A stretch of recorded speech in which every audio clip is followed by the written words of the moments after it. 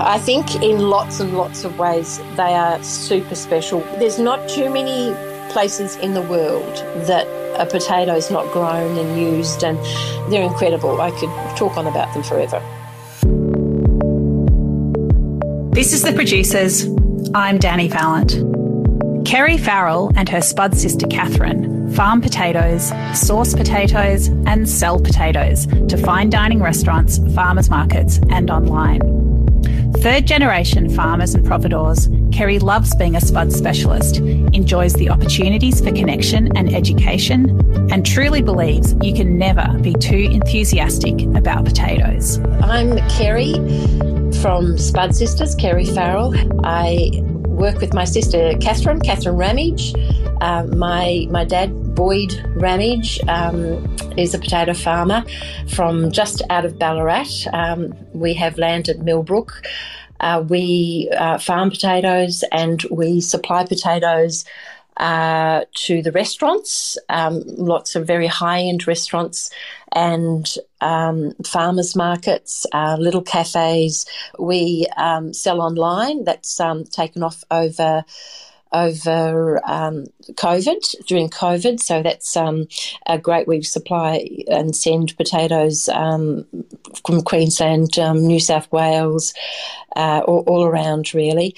Um, and uh, we uh, have a great great fun, great bit of fun, Catherine and I, um, um, selling potatoes and and um, really, I'm full of potato guff, and I love sharing my knowledge of it to to everyone and anyone who wants to listen. Kerri's whole family has been involved in farming in various ways, from dairy to Christmas trees to spuds. And even though she moved to Melbourne, had her own kids, and worked in other areas, it only took a little bit of arm twisting for her to rejoin the family enterprise. Well, we're a third generation potato farming family. My grandfather was a potato farmer uh, and a dairy farmer, had the first uh, dairy farm in uh, da- the first dairy in Ballarat, um, and uh, having two sons. My grandpa had two sons and lots of daughters that helped in the dairy and the and the potato farm. And they, uh, when it came time, of course, to split, as sometimes happens in farming families, um, then my dad took the potato side and my uncle Jeff uh, took the dairy side. So um, that sort of started our, our, or my dad's um, um love of potatoes. I suppose he's always, he always had it. But um, then um, my brother came along and um, four sisters. Uh, so Braith had to work pretty hard when he was um, a young kid, and um, we kind of uh, dad outgrew blocks of land that that he had had potatoes in, and um, bought bigger blocks of land, and now we kind of um, uh, have land at Millbrook. My my dad's passed on, but my brother's still very much involved in the potatoes. He also grows um, um, Christmas trees on our farm as well, and um, we um, we run the Salvation Army Christmas tree um, fundraiser each year. So come December, it's all a little bit crazy, crazy mayhem. But um, you know, we get through it. The family kind of gets through it. Um, but my dad, um, when I when I first being a country girl, you you when I first came down to to Melbourne then uh, I worked at different reception jobs, etc., etc., and I ran a couple of businesses on uh, myself. Um, had a little sandwich bar in the city, and um, my um, uh, then I think my my dad actually well after I was married and babies came along, um, the next chapter of new life. Um, my dad said um, uh, why, he came down with a load of potatoes. He was taking spuds into um, into uh, a processing place somewhere down in Melbourne, and he came through and said, "Well, why don't you why don't you take these to the, the, the girls in the kindergarten care? You know, the one that you know the girls that, that that are in there. They'd love these fresh spuds." And I, I kind of, we all laughed at that and said, "Oh, that's not going to happen, Dad. That's a bit ridiculous." But um, in actual fact, uh, he kept persisting. And my mum, who has, you know, great business sense um, as well, she kind of could see that there would be, you know, there would be a bit of a future in it as well too. And so, they both encouraged me, and uh, you know, having a, a, a, bit of a crack at having, running my own business. I thought, oh well, well, I would I would give it a go. So um, that's what I did, and I think we started with letterbox drops and just gathered and grew a little business from there, just really locally, and then it kind of grew on to supplying. Um, other restaurants and little businesses along the way. And um, then my sister, uh, Kath, um, I, I, suppose this is 35 years in the making for me. And my sister Catherine um, decided to have a bit of a job change, and she um, she also thought that um, she would join me. So then we combined and made Spud Sister. So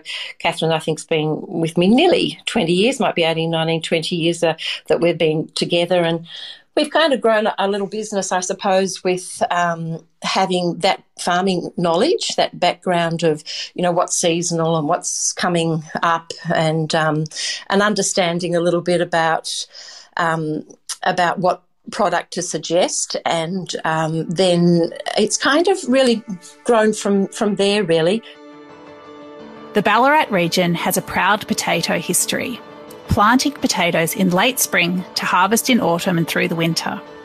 But supplying all year round means connecting with simpatico growers in other parts of Victoria. Because in Victoria, like in our district, in Ballarat, uh, it's a winter growing potato, and for many, many years, it used to be the, the biggest um, seed producing um, area of, of Victoria, in Australia, really, where uh, a winter growing um, area. So we would um, put potatoes in um, just before Christmas, depending, I suppose. But if you can get you know an early crop in in November, then it will be up by um, by late February, early March. You know, depending if all the the you know the the weather gods are, are in your um, in your are in your favour, and then we would harvest from March through till um, August, uh, thereabouts, and September they're starting to get a little bit long in their, their tooth um, as far as, uh, you know, that starchy, that starchiness I was telling you about. Sometimes that,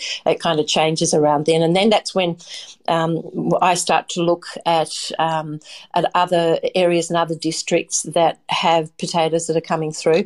In and around Warragul and places like that, they have a longer season. Um, they don't get so many frosts like they do in, in Ballarat or certainly down on the peninsula as well, which is another part where the potatoes can come from. So in our off season, what we call our off season, we would work with um, the Hawkes Farm down on the peninsula. They um, they do fabulous produce, and also the Jones Farm. Um, they also Gordon's a fabulous. Um, um, well, he's he's a great you know, he's a great person, but he's also a great farmer, and you know, we kind of work in pretty well with one another. We understand um, how it kind of um, works, and um, yeah, we're, we're uh, we try to work in with one another. Um, and Richard, Richard Hawke. So they're the when you're when when Ballarat district and when we don't have potatoes, um, that's where they come from. Potatoes are humble, but that doesn't mean simple. There are about 5,000 varieties worldwide. Kerri is passionate about educating cooks and chefs about the essential differences between floury and waxy potatoes and guiding her buyers towards spud magnificence for every recipe and occasion. Potatoes are terribly complex. Um, uh, little vegetable, and uh, because they do change, because the, the the variance in so many varieties between a good floury potato and a good waxy potato, there's quite a range that runs in between. But really, it's only the floury potatoes that will will fry and roast. The waxy ones won't do it, and they probably would handle the cool storage a bit more if they if you had to put them into cool storage. But floury ones don't like the cool storage. Floury potatoes are very starchy, so if I the, on my farmers like when at the farmers market, um, Catherine and I have uh, our potatoes kind of in an order, and they go from the the starchiest potato or the driest potato that might be your um, rosti or your hash browns or your frying potato, um, the ones that you need to have um, a bit of crunch and, and they are starchy. So um, uh, they they are the ones that will be best um, roasted uh, as well as frying then it kind of works its way to a bit of an all rounder. So, well, we'll just go back one step. So, um, the, those starchy potatoes would be like a, a Yukon Gold or a Maris Piper or um, um, a Russet or an Innovator. Those are your starchy potatoes that will, will do all of that for you. And then not as starchy it would be uh, a, a, Blue Moon or um, Gordon's got a new potato at the moment called a Merlot. Um, they Then a Sebago. They're kind of an all-round potato. They've got like for making gnocchi, they've got a little bit of body to them. They're not as they're not as floury, they're not as fluffy.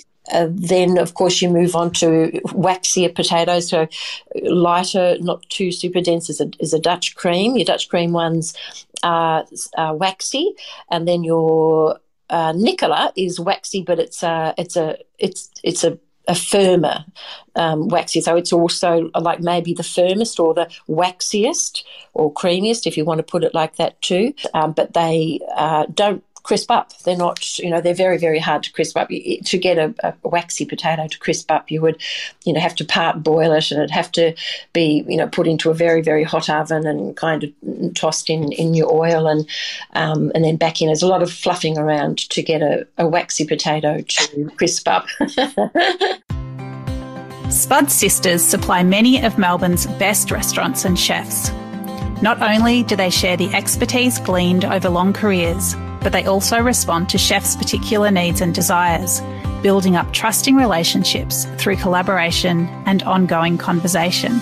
It's been such a such a lovely journey, really being able to offer our expertise and being able to tweak our expertise. Kath and I have got some great um, restaurants that we we deal with, and and I think that you know that you know from you know from Attica to Carlton Wine Room and um, uh, Shannon Bennett, um, the Cash, the the Jacques Reymond's, all, all of the Stokehouse, um, all the way through through COVID. Um, the boys from the Stokehouse came down really, you know, um, religiously to the farmers market and tried everything on the table and kind of tweaked recipes and and the same with Jacques too. He, uh, they, they all of the uh, chefs when they could kind of came down and, and went through different varieties for the, for the farmers market, but um, the the the lovely thing about working with, um, um, you know, specialty restaurants um, is that uh, you get to show your expertise and they get to trust you.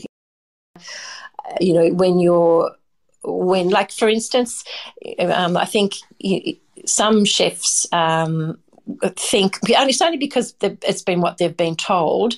They will get confused between waxy and floury potatoes, and you know they've been told by other people that's a waxy and that's a floury. In actual fact, it's quite the reverse. So just being able to um, you know, let them know which ones are in actual fact a flowery. And just because it's a deep yellow potato like our um, Andean sunrise at the moment, it should, it, by all means, it should look like as if it's a waxy potato because it's deep and golden and it's very yellow. And sometimes the waxy potatoes are like that, um, but it's not. It's it's very flowery. It's um, very fluffy, silky, crispy, crunchy. And if you tried to boil it to make a potato salad, it's just going to make mush. As new restaurants and cuisines come to the fore, there's an interest in less common varieties of potato. Peruvian restaurants such as Pastuso have inspired the Spud sisters to plant exciting varieties that haven't been seen locally before. And I have a lot of Peruvian restaurants that are now showing a lot of interest in these deep coloured potatoes, and they are the Andean sunrises originally. The seed would have originally come from from the Andes, and there's a Mayan twilight and a Peruvian gold. Uh, quite a lot of them, like Pastuso, the new. Um, Peruvian restaurant uh, that's in the city, they're taking a lot of um, different coloured potatoes, and there is a lot of Peruvian restaurants who are showing an interest in it. So that's kind of, I suppose, the next thing um, for Spud Sisters is to start to plant some just sort of little small crops of interesting, unique little potatoes.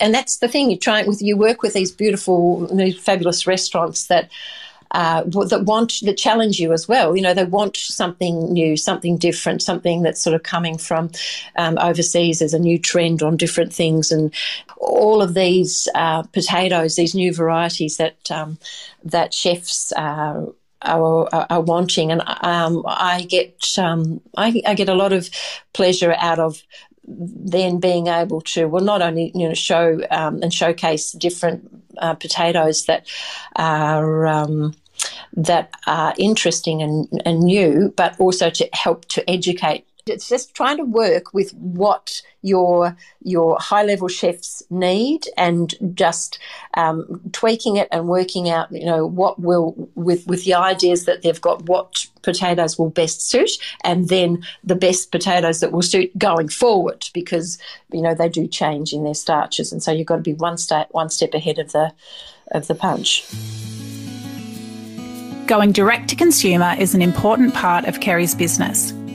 Farmers markets aren't just a source of income, they're a source of friendship and crucial feedback on how her potatoes are faring in people's kitchens. We do a lot of farmers markets, kind of down in the, the southern end of town, I suppose, um, mainly. Um, but you know, a bit of a good spread of farmers markets, and we get great feedback straight away from your farmers markets customers, and and that's a really great passion of mine. I, I really love um, the farmers markets. They uh, they are um, all the way through COVID. They were such a such a joy to be able to speak to people, and we've made some very good friends, uh, long friends, um, through the farmers markets and.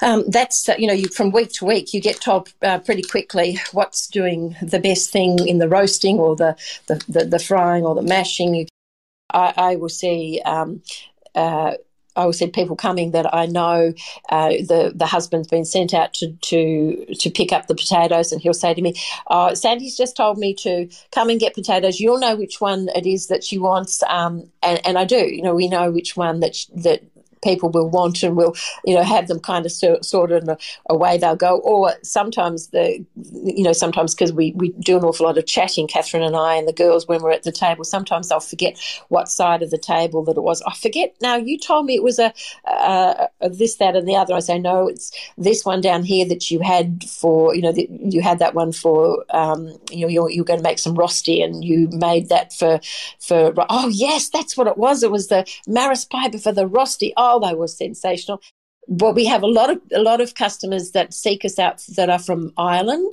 and from England um, and parts Scottish because there's not a lot of really lovely floury potatoes that you can get um, off the shelf or in a supermarket, um, and they love floury potatoes. So that's the the thing that would remind them most of home is uh, is uh, an Irish person and a floury potato. My my mother in law was Irish, so she would say to me, Kelly, go out and get me the flouriest potatoes that you've got, um, and I'll whip you up some um, some roast potatoes. And she she was just wonderful. She would roast the potatoes. Sorry, she would parboil the the flouriest potatoes that I had, and then she would take them out into the the night air where it was really cold, and she'd flip them, and there would be these billows of steam that would escape from the pot, and uh, she would just make the most loveliest, crunchiest, fluffiest potatoes from uh, some kind of little spud with whispering going on in the Irish camp, I think, somehow or another down the track, but they were just heaven.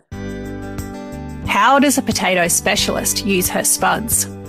Kerri lets us into some Spud Sister secrets and even some family controversies. I make a pretty good potato salad, really. Um, uh, although one of my favourite ingredients is um, that I used to get from the supermarket was Fountain's um, sweet mustard. They don't make it anymore, so I've got to kind of try and invent my own little sweet mustard. But um, I do make a pretty mean potato salad, and I also, well, uh, there's a bit of a running, um, uh, a running I don't know, um, challenge between my sons and I as to who can make the best roast potato. We've all kind of keep tweak, tweaking it to see who can do the better one. I, I, think actually my son's beating me at the moment. I'm going to have to smarten my, my act up a little bit, but um, it's hard to beat um, roast potatoes with duck fat in them if you can kind of sneak a little bit of. And, but it, there again, see, there's that's a controversy because duck fat really is a natural fat, and you really don't need a lot of it. You other oils and things that you have to sometimes add a little bit more, but you can just really just melt duck fat and just brush it over with rosemary and garlic over the top of your, um, you know, your King Edwards or your Maris Pipers or uh, beautiful um, Andean sunrise potatoes, and they would be um, well, you, I, I, never ever have a problem with um, them disappearing out off the rack. There's a, a lot of boys that peer down the back of my oven saying, "Is there any more spuds, Mum?" Like as if the oven's eaten the spuds. no, you've just devoured three trays. There's no more spuds. Potatoes are a staple around the world.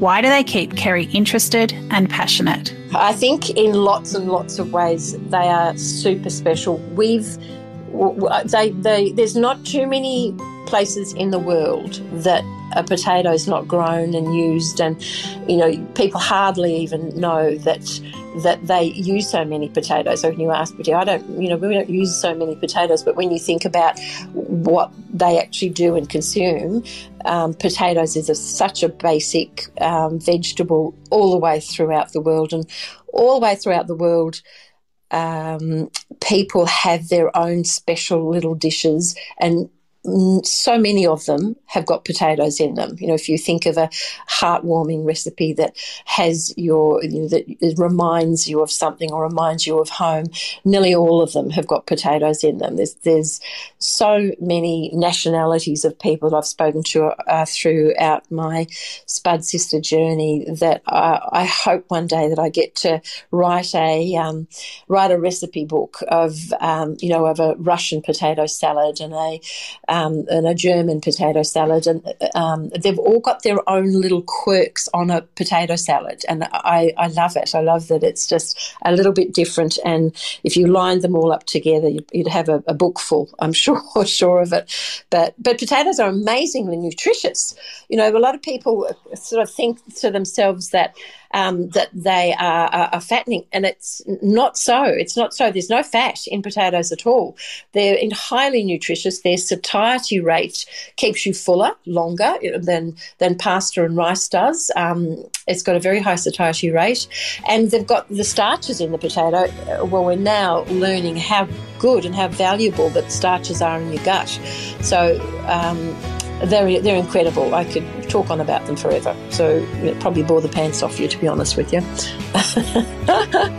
they're nutritious, versatile, and beloved by home cooks and chefs alike. They've also enabled Kerri Farrell to stay connected to the land and her family's heritage and build rich and warm connections with keen home cooks and some of Australia's best chefs. No wonder she's so happy to be a Spud sister.